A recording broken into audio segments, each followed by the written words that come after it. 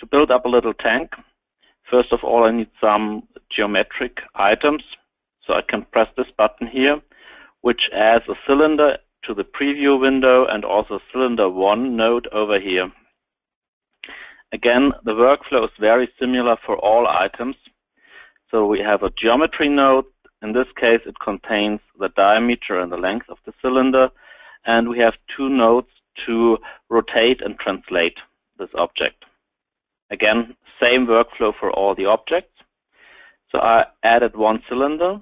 And let me just switch to the wireframe view so we can see what's happening there. I add now two spherical segments for the tank ends. So I press this button twice and I got two new nodes over here in the tree view. And of course I need some input parameters for the symbol. So I select the parameters node and I press this button twice, which adds two columns to the list and two parameters to the tree view over here. I can now rename these parameters. So this one could be par vessel length, and the other one could be par vessel diameter. As you can see, also the columns down here got renamed. And I can create several variants of the tank symbol. So perhaps tank A, and then I just insert two additional variants, tank B and tank C.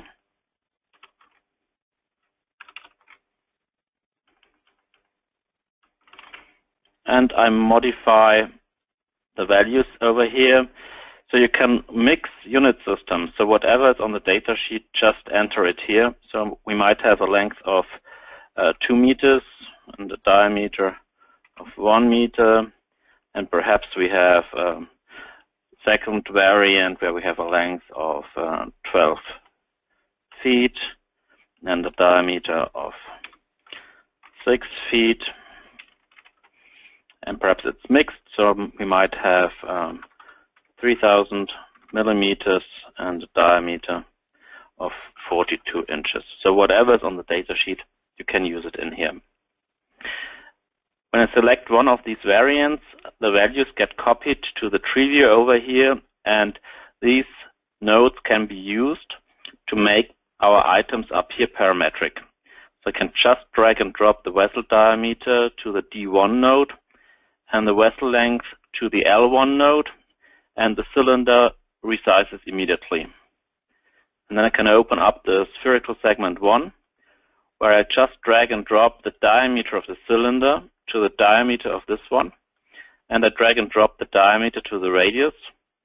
I open up the formula, and when I do the drag and drop, it just copies the name of the source node into the formula of the target node. That's all. So I could also enter this manually, or in this case, I just modify the formula, so I divide the diameter by 4, so I get a nice tank end at this position, which I rotate about the z-axis by 180 degrees.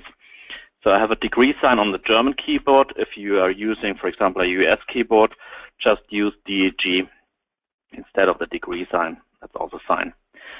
So now we have a left tank end, and now I just need to copy the formulas or link the formulas of the first spherical segment to the second one. So I drag and drop the diameter and also the radius. And then I translate this to the right by par vessel length. Basically, that's it.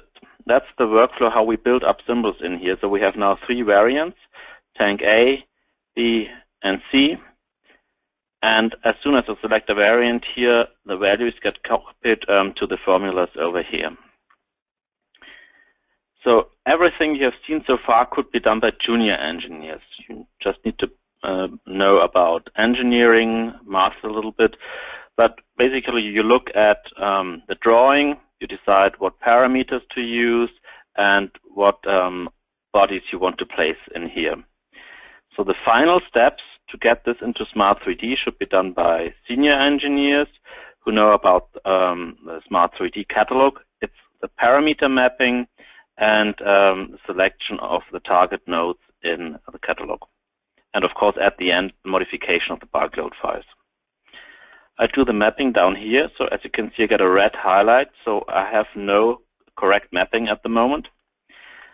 So I know we have uh, attribute name called vessel length, so I can enter this manually, but I still get the red highlight.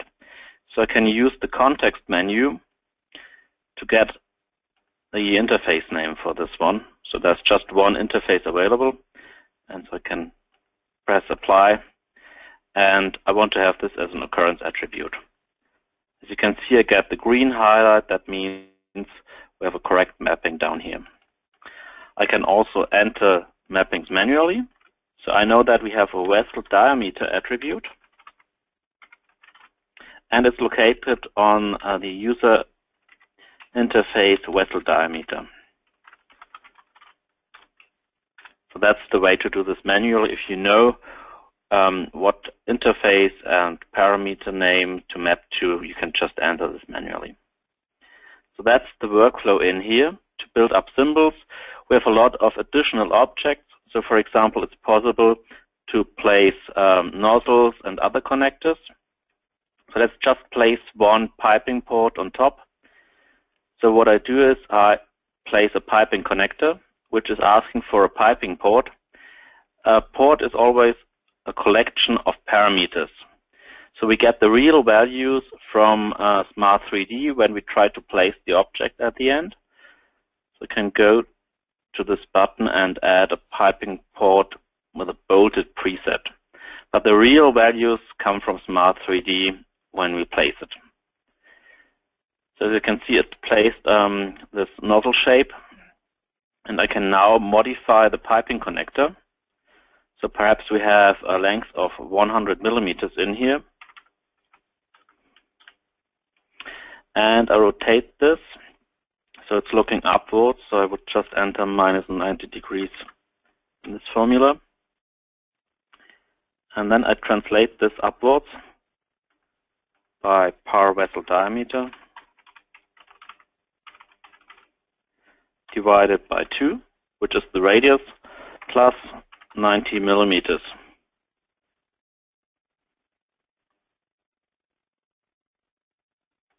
Sorry. And I move it to the right by par vessel length divided by 4, which places this at a quarter of the length of the tank. So that that's all. It's now placed on top of the tank at a quarter of the tank length.